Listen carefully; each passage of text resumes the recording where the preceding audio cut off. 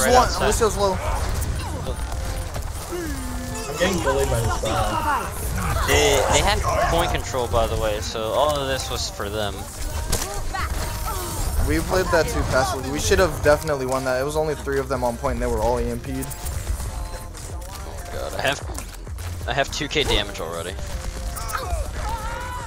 Push this, push this fast, fast, fast. I can't go, dude, let's go. I flashed him. Be careful of that monkey.